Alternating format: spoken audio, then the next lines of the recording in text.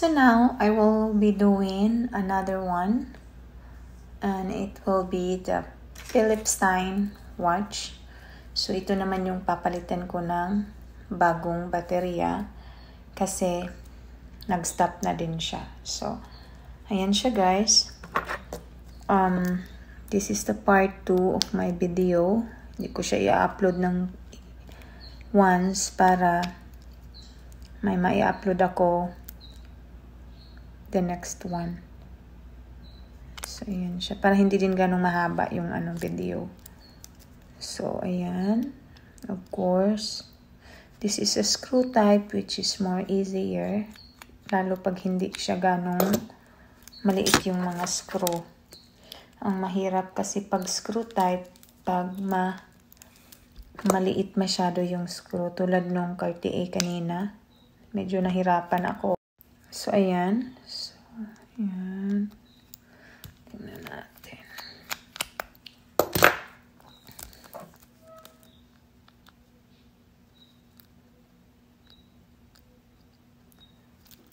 Oops.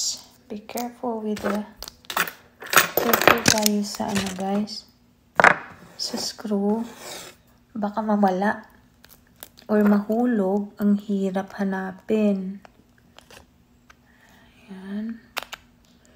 so as ano guys uh, may mga nagtatanong bakit kailangang palitan kung hindi naman susuotin yung ganon. I, saka na lang palitan pag uh, susuotin na which is mali especially kung yung old battery is nasa loob pa. Kasi ang mangyayari sira na kasi yung baterya na nandyan pag hindi na siya gumana no? So that means so that means sira na yung ano baterya. So that means mag magwa-water ano acid or mag ano na siya magwa-watery yung old battery. Yun yung mag sisira sa ano guys, sisira sa um, relo.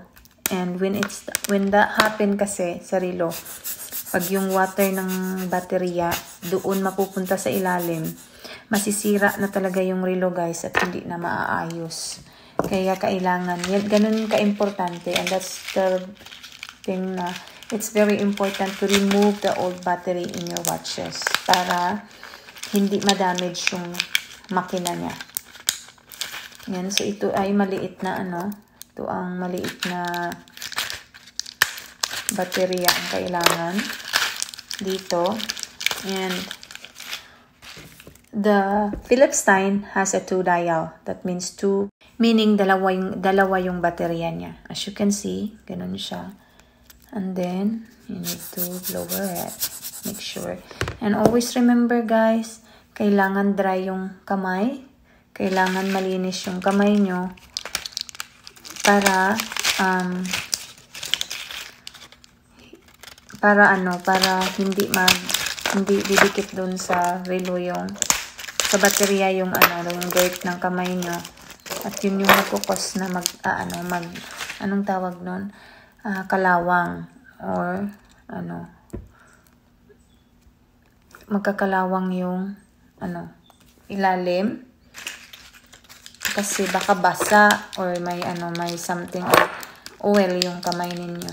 So, you make sure na malinis, dry yung kamay nyo bago nyo i-touch yung kamay nyo sa baterya bago nyo i ano sa ilalim ay sa bago nyo i ano bago kayo maglagay ng baterya sa ilalim so ayan siya both are running na Ayan. So, yan. Back natin yung puti. Ayan. Pag ganito kasi, pag screw type, mas mabilis. And you don't need to use your force, strength to, ano, to put it back. You just need the screwdriver, star screw. Oh, this is not a star screw. This is the ano, ano, ewan ko anong tawag ng screw na to, straight line screw. Ang star kasi is yung pa-star, ba diba? Ewan ko. Ano, ewan ko anong tawag ng ano na to.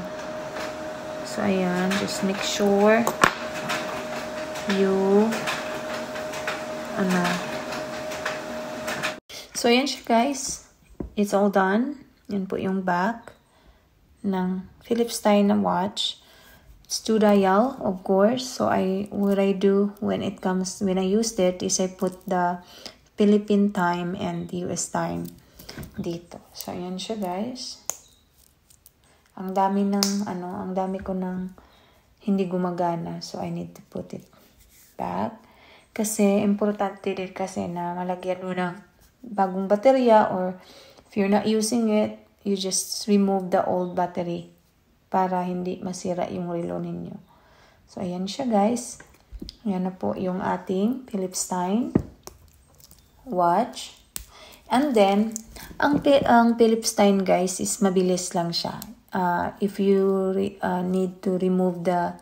Kasi yung Philips Stein, maraming ano siya, marami siyang uh, bracelet. Pwede mo siyang papalit. Mahal ang Rolex sa service, guys. Alam nyo is I paid 500 bucks just to service my other Rolex and then hindi mo talaga mababawi yung nagagastos, uh, gagastusin mo unless ano all gold. Ang yung ano ko is 14 karat lang yung gold niya. But two tone, so hindi siya all gold. So I don't think you can get back the money on your on that watch but it's okay. So anyway yan na open ko na siya guys. Ayan. Yung ano niya yung takip. And of course we need to remove the white ano or the stopper inside para ma-blow natin yung loob. Ay saan ba yun ayan Ayan siya guys. And it's not that complicated to change the battery on the Philips Stein and remove the link if you want to change or replace the bracelet. So that's all for the Philips Stein guys. And thank you very much. Bye.